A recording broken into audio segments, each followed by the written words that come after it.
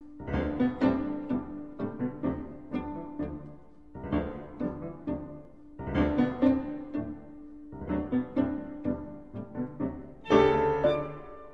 Bentrovati, oggi è mercoledì ed è un giorno nefasto per Taranto e per Lecce o per alcune famiglie di questi territori, perché sono stati arrestati il presidente della provincia di Taranto, il suo assessore all'ambiente Conserva e Gianni Florido, il numero uno di palazzo della provincia della città ionico-salentina, ma ha arrestato ai domiciliari anche eh, l'attuale dirigente della provincia di Lecce, dottor Specchia, che all'epoca era il direttore della provincia di Taranto.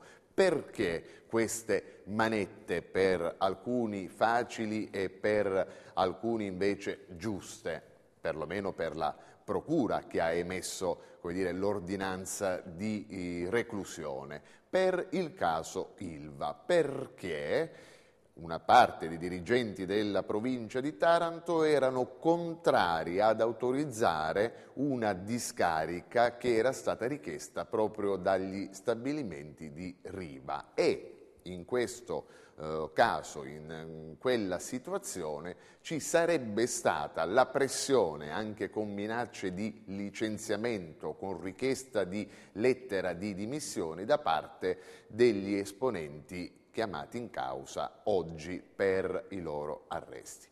Voglio fare due riflessioni differenti. Innanzitutto l'Ilva ha potuto fare ciò che ha voluto, lo abbiamo detto più volte, grazie all'accettazione della classe politica, ma anche di chi doveva vigilare, che non rappresentava la politica, in questi decenni, come dire, la garanzia lavorativa e quindi occupazionale e ambientale della città tutti forse hanno avuto degli interessi a far fare all'Ilva, quando prima era statale e poi privata in quanto acquistata dall'imprenditore Riva, hanno dato la possibilità a questi soggetti di fare ciò che ritenevano più opportuno adempiere o meno per la garanzia ai cittadini tarantini.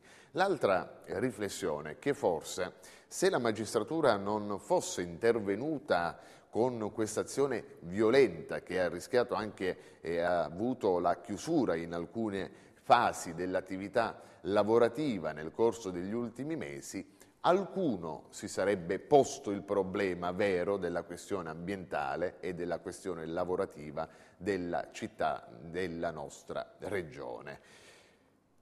Qualcun altro ipotizza, come sempre, queste indagini che hanno un riscontro così elevato e nazionale poi porteranno qualche magistrato ad avviare la propria carriera politica. È stato così per Tangentopoli, non solo, per Di Pietro ma anche per Colombo e D'Ambrosio, è stato così per l'attuale sindaco eh, di Napoli, io ritengo e spero che non sia così per i magistrati che stando in modo oculato come dire, indagando su quelle distorsioni che hanno prodotto questi drammi regionali e principalmente drammi anche umani e sanitari proprio del capoluogo ionico. Ma perché bisognava arrestare Conserva, Florido e Specchia, quest'ultimo ripeto ai domiciliari? Qual era la necessità? Perché dopo un anno si pensa di dover rendere effettiva la carcerazione di due esponenti politici e di un tecnico? Se ci sono prove, se si è indagato in un certo modo, si vada a processo, li si condanni e li si metta in carcere.